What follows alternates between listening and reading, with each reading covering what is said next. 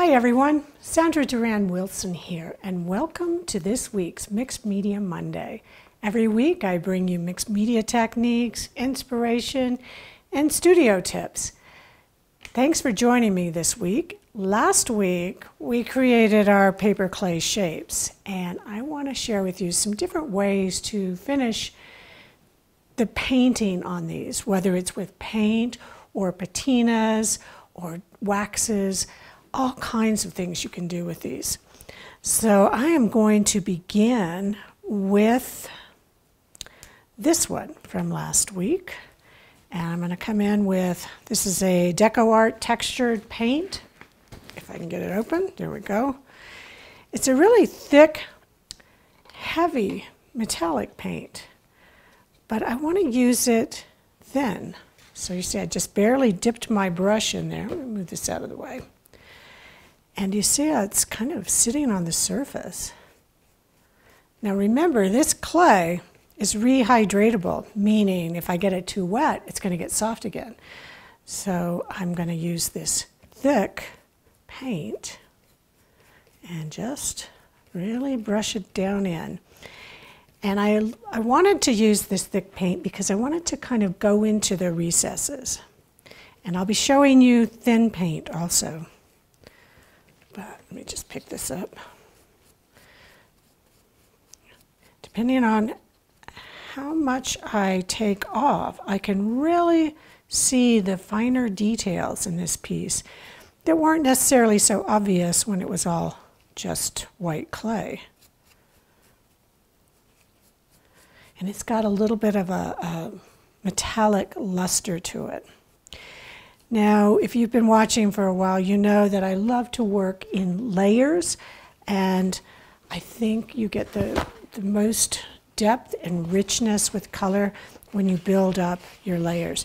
So I'm going to take and wipe off some of that paint from the, from the texture on the surface. And I'm going to let this dry, and then I can add another layer. But isn't that beautiful? It almost reminds me of like an ivory coming through, carving. So that's the first step. Now, this one, I'm going to use Lumiere paints, and these paints are made to work with fabrics and even paper clay. So let's try this kind of beautiful halo pink, it's called and it's one of my favorite colors. And I'm just going to, oops, squeeze it out onto there.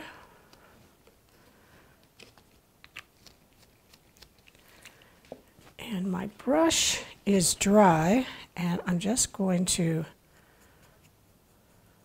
do as I did before with that thick paint. Just pick up that little bit. And when you're working with these pieces, you're going to be adding to something. You want to make sure you get all of your edges painted. I'm not going to worry about it so much at the moment, but that is something you want to pay attention to.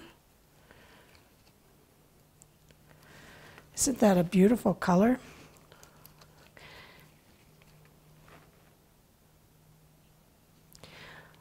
What I like about it is that it reflects two different colors, really. If you see it in the edges, in those recesses, it appears to be a darker color, kind of that pink. And on the flat surfaces, depending on how the light hits it, it's more of a gold. So beautiful paints for working with paper clay. Now there's another one that I'm going to kind of show you how I got some of this. This is painted first, and then I used some of Seth's uh, embossing powders on top of it. But I want to get this going because this is going to be really wet. And I'm going to need to have it dry. So here's the piece with the beads in it. And this is a high flow phthalo green blue shade from Golden. And I don't know if you can see that. Yeah, probably. Because it didn't have any kind of seal on it, it's really getting um, dark in here because my brush was very wet and this paint is very low viscosity, meaning very fluid. So I'll show you again over here. See, it just kind of flows down into that clay.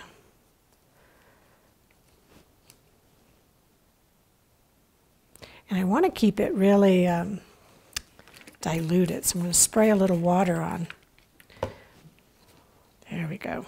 That's another way you can control the uh, transparency of your paint. And remember, this is on top of the cardboard, so I'm getting a few different effects of how it's getting absorbed into the clay and the paper. So I'm going to need to let that dry. And I want to show you the embossing. So let me get the, this is the one that had the little roller on the top. And I'm going to see if this is dry enough. I think so. And I'm just going to take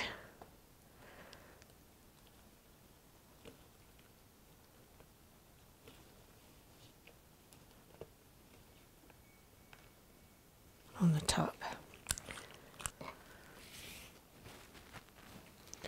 And this color is called Sea of Tranquility.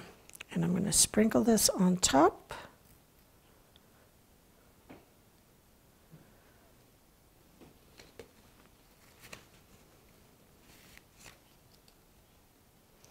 And I can take a, a little brush and brush some of that out.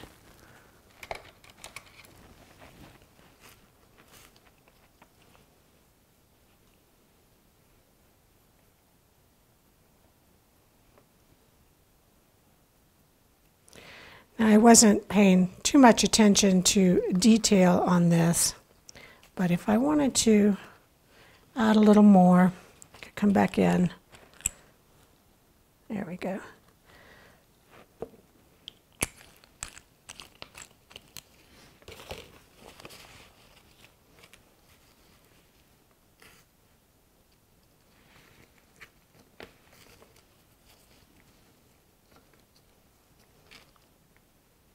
Okay. And then you remember what I did with these. I just heated it with the heat gun.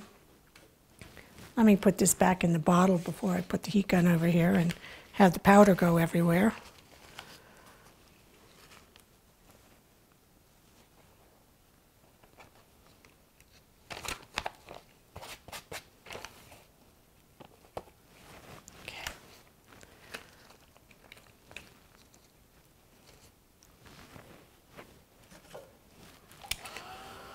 Not sticking on quite as well. I could have used, um, I'll show you one other quick way to, to get it on there and have it stay a little better. You could use a stamp. But I just wanted to give you that idea. I want to show you one other thing. Actually, I kind of like it. It's getting a little rustic looking. And as I emboss it, it's going to stay, it's going to act like, um, like this. This one I did with a lot of it. So we can compare the two. So here's with a lot of the embossing powder, and here's with just a little. And this one, I did the same thing. I used the brush tool with the embossing powder, and I just went around and did that. Now the other piece is, these are called metallic luster creams. These are by Deco Art also.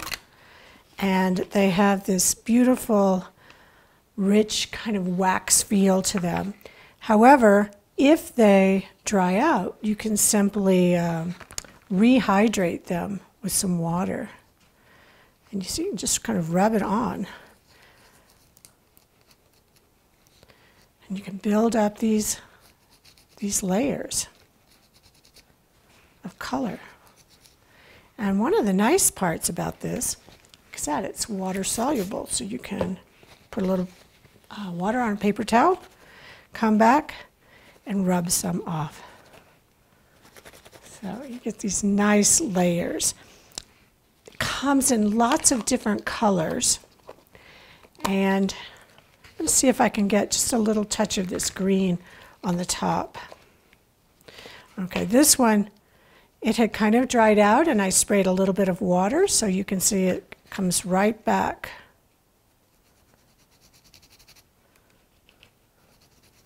And I'm just tapping it on my finger and just lightly rubbing it over the top so it's just sitting up on the surface of that design. Now that color is pretty similar to the blue, so I'm going to come back in here, use a different finger, pick up some of the gold. Actually, that color is called Orange Flicker.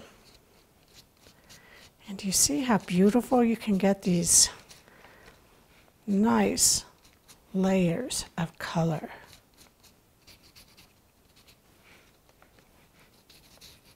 Oops. Get that off. Very rich. You can do the same thing without putting any paint. I can put a lot of it onto here. This is the orange flicker. And then just come back in with my brush and brush it.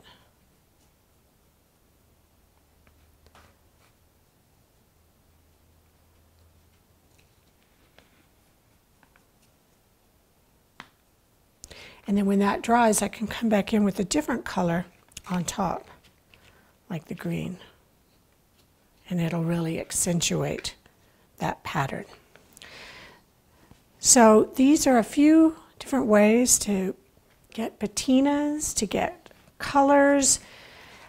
And one of the other things I just want to talk about before we go is sealing these because it is important to finish them since they do rehydrate. And when I have finished what I want to put on them, I will take a matte medium or a gloss medium, depending on you know the sheen I want, and I will make sure that I seal both sides. Then they're going to not warp or go anywhere, and then as I cut them up or add them to my pieces, I don't have to worry about that. So make sure you seal them, and you, even after you seal them, you could keep building layers of color, but you want to make sure you seal them. So thanks for joining me this week, and if you like the video, click like, share it, and share your work. Post any questions you might have, and I'll see you next week.